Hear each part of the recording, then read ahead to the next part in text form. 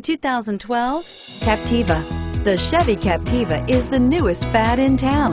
Expected soon to be reckoned as the walking icon, Chevrolet has yet another classy creation waiting in the store for you and is priced below $20,000. This vehicle has less than 50,000 miles. Here are some of this vehicle's great options. Traction control, dual airbags, air conditioning, front, power steering, four-wheel disc brakes, AM-FM stereo with CD player and MP3 WMA capability, center armrest, fog lights, power windows, security system. Come see the car for yourself.